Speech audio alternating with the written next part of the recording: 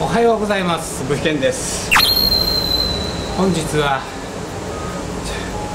ちょっと待って暑いね。本日は、えーちょっと待って暑い。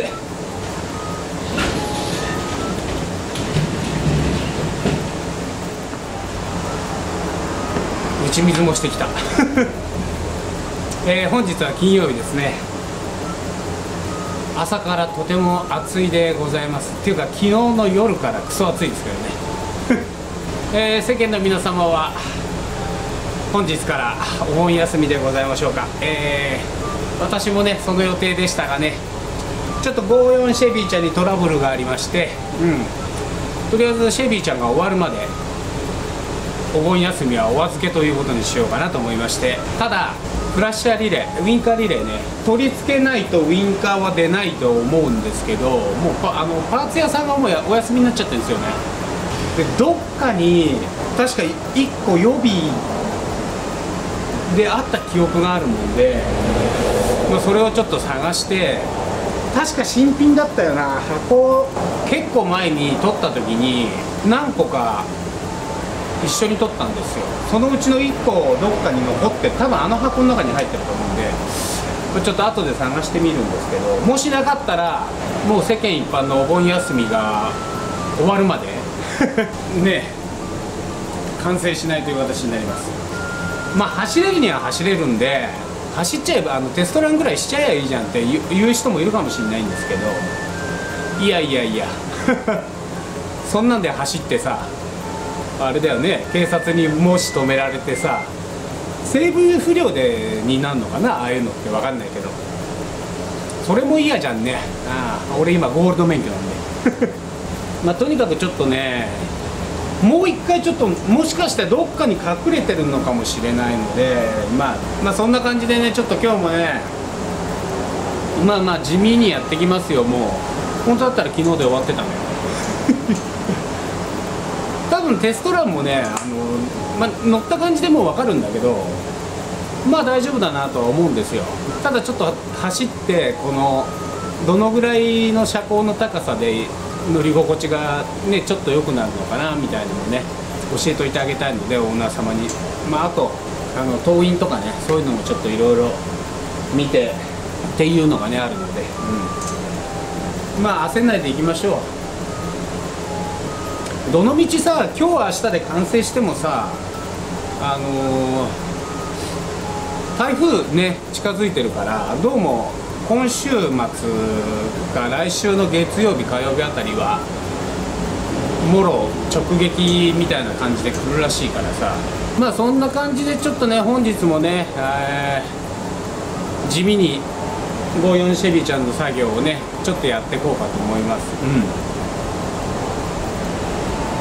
そんな感じで皆様、えーつまらない動画になると思いますが最後までご視聴よろしくお願いいたします、えーウインカーがつくようになるまでテストランはできません。あねちょっと僕もそういうの嫌なんで。まあそんな感じでね。えーもしよかったら高評価グッドボタンもよろしくお願いします。じゃあ頑張っていきます。つうか腰が痛いのよ。あーとちょっとね視聴者様からのご質問であのこういうステアリングを外したいんだけどどうやって外したらいいですか？みたいなの来たんですけど、まあ、40年代とか50年代の絞れ腰ってのステアリングってまあこんな感じなんですけどあのこれこれねあのここがホーンボタンじゃなくてこれ全体がもうホーンボタンなんですよ。ホーンリングっていうんだけどあのこうやってね。まあこれは殺されちゃってるけど。でまあステアリング外す時にまずねこここのプラスチックの部分あるでしょこれをねこういうので横からねペコンってやってあのこじって外してあげるとここにナットがあるんで、うん、そしたら簡単に外せますよ。でちょっと気をつけなきゃなんないのがまあ昔のもうプラスチックなんで破損しやすいっていうのともうほら自然にもうこう割れたりしてるでしょ？ひびが入ったり。っていうのとこれが取れた後でもあの長い間外してないステアリングとかだともうあのまあ、スプラインが切ってあってそこにこうやってはまってるんだけどさもう完璧に食っちゃってて引っ張っても外れないんですよ、うん、でよくやるのが外れないもんでここをさバンバンこうやって叩いて外そうとする人ねいるじゃない。こうダンダンダンダンっつって、うん、で運がいいのか悪いのかそれで外れる時もあるんですよパンって。でもさそれ必死になってこんななって叩いちゃっててさ顔面がこの辺まで来ちゃってて思いっさま力入れてバンって叩いた瞬間にハンドルがズーンってさ取れてさそれが顔面に直撃してね歯とか折っちゃう人いるのよ。私の知り合いでも1人いたんだけど前は2本行かれちゃったやつ。外れなかったらこういうのは外すあの道具とかっていうのが売ってるんでそういうので外してください。あ力任せにこうやって叩くと怪我のもとになりますんで。そんな感じです。まあそんな難しいあれではないのでね。ただどうしても本当に外れない時もありますよ。そんな感じで外し方はそんなに難しくはありません。頑張ってみてください。はいそれではちょっと潜ってもう一回見ます。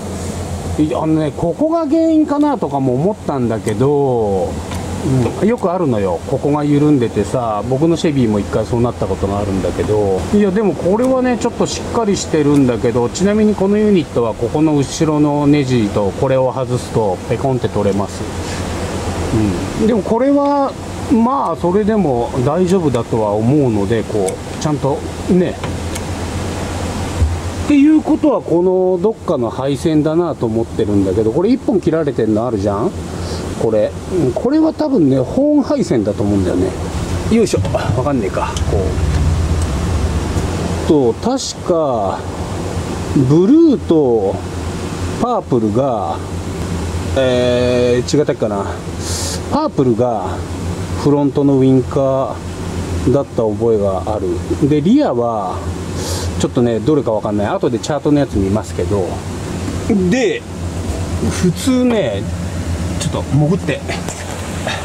ちょっと待ってなんだ刺さった？い。てまあ昨日もさ説明してたけどさやっぱクラッシャーリレーないんだよな。ないんだよ。ここにね固定するフラッシャーリレーを固定する用の金具みたいなのはここに残ってるんだけどこの裏に。ないんだ。ちょっと待って。もうちょい奥に入るか。いてててててて。もう死んじゃう俺。腰やっべ。ちょっとね俺が探しきれてないだけなのかなと思って今頭突っ込んでんだけどやっぱないんだよな。これじゃないよな。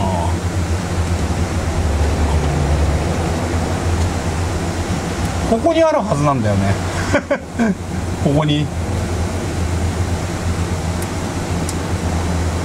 あった。ほら隠されてた。わかる？これ。フラッシャーリレー。三脚の三脚のやつやっぱついてた。であよかった。これがいかれてんじゃないの？カチカチも言わなかったもんね。じゃあ今バッテリーつなげたのでキーオンにしました。まあ、キーオンにしなくてもヘッドライトとかやつはあのなんだっけあれはつくんでやっぱ暗いな多い。ほんと暗いよねこのシボレーのやつってさ。一応ついてるけど。はいスモールにするとつきます。これついてるんですよこれで。夜になると分かるけど。でえっ、ー、とウインカーはキーオンにしてもこう反応しないもんねこう。カチカチも言わん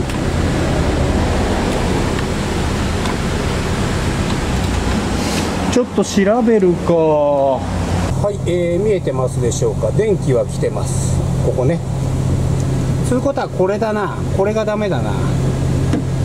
スイッチ入れてもカチカチ言わねえってことは。電気はあ今もキー切っちゃいましたけど、えー、とこれでキーオンにするでしょ？ほんと電気がほら映ってる？電気がこう流れてますよね、うん、でキーオフにすると電気が遮断されると。じゃあキーオンの状態でウインカースイッチを入れてもウインカーが出ない。っていうのはこれ。こいつですね。そう見たってわかんねえんだよなこういうのってさ。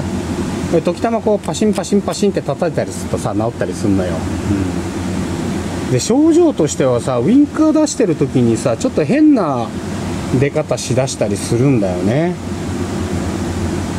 わかんない。ものにもよるのかもしんないけど。じゃあこれを変えれば多分治るんじゃないかなって思うんだよ。三脚のやつね。三極のやつね。じゃあちょっとフラッシュアリレー探しましょうか。前はこの辺に転がってたんだけどな。ない。やっぱこの中かな。はいありませんでした。俺違ったかなとか思ったんだけどセンサーだっけ？あーな使っちゃったんだなほいじゃあ。何かの時にこれ蓋だもんな単なる。だよね。そうか。えー、ということでですねちょっとねパーツ屋さんに電話してみます。はい。一応注文しときました。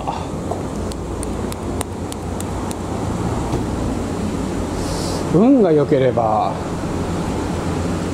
明日明後日ぐらい。運が悪いとお盆休み明け。まあしょうがないよね。多分これだと思うけどね。電源も来てるからさ。うん。でウインカースイッチ入れてもダメだってことはねえこいつがカチカチ言ってくんねえからさ。いきなり壊れるんだよねこういうのってね。まあね消耗品っちゃ消耗品だからここに来るまでは動いてたのかなだから。まあしょうがない。ちょっとね待ちましょう。というわけで今ちょっとほこりを軽くまた取っといたんだけどシート。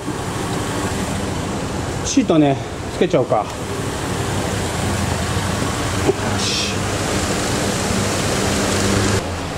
っちは軽いからまだ持てるんだよな。よいしょ。はい。はい。はい。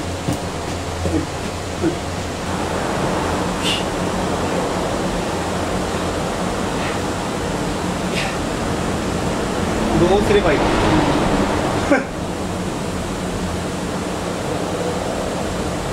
腰痛くなかったら楽勝だと思うんだけどいてててって。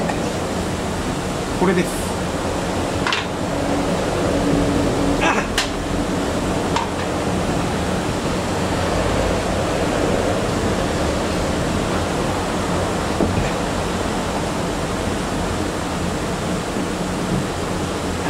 ちょっと待って。一人じゃ無理かな？はい座面の方はなんとか取り付けられました。問題はね背もたれ。こっちね めちゃめちゃ重いんですよこいつ。いけるかな？ハイシート戻しました。しかし腰が腰が。いやーちょっと重い一人でとすんげえはめにくかった。あそこ。まあはまったからいいか。よし。いや 苦労したなこりゃ。一人じゃ無理だね。あ腰痛い。もうすっぱだかですよ。汗だくで